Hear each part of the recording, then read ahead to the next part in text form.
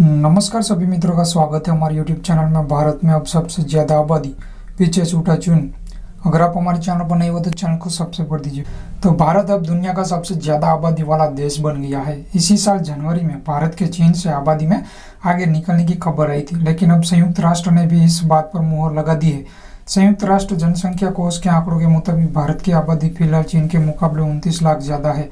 हालाँकि यह स्पष्ट नहीं है कि भारत ने चीन की जनसंख्या के मामले में कब पीछे छोड़ा। यूनाइटेड नेशन पॉपुलेशन फंड की रिपोर्ट के मुताबिक दुनिया की आबादी अब आठ अरब से ज़्यादा हो गई है। जनसंख्या कोष की रिपोर्ट का शीर्षक अब अरब जिंदगियाँ अनंत संभावनाएँ है। संयुक्त राष्ट्र की रिपोर्ट के मुताबिक भारत की आबादी अब एक अरब बयालीस करोड़ छियासी लाख है। तो वहीं चीन की आबादी एक अरब बयालीस करोड़ सत्तावन लाख है। इस तरह दोनों देशों की आबादी में उनतीस लाख का अंतर आ गया है।